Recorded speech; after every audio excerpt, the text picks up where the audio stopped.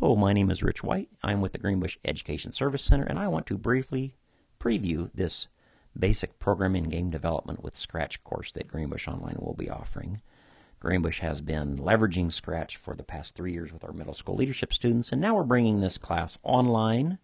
So this would be something that in the fall your students would have a chance to to enroll in and take through Greenbush Online Learning.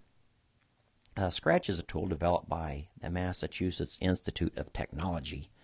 It's actually used by Harvard University and other universities in their introduction to computer programming, but it's certainly um, one of those types of platforms that kids of any age can uh, kind of get their feet wet with basic programming. You can look, if you look over to the right here, you'll see that's kind of a quick sample of, of a set of Scratch blocks. Scratch programs are written by moving blocks around a lot like Legos.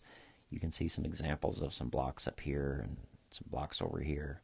This class will will walk kids through the very very basics of programming, um, some simple things with Scratch.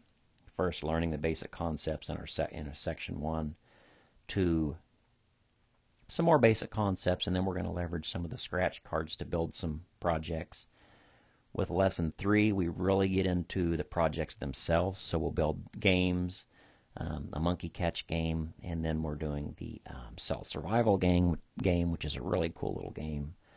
Um, and then we get into the more complex asteroids types game, and then we get into programming sensors with Scratch, and then these build your own blocks, which is some very advanced um, programming concepts where we get into more object oriented type of things. So we're going to walk the kids really through um, a very nice structure of of how programming is done, um, taking lowering the barriers for for uh, for some of those kids that might find programming interesting but don't want to sit there and type in in typical programming languages.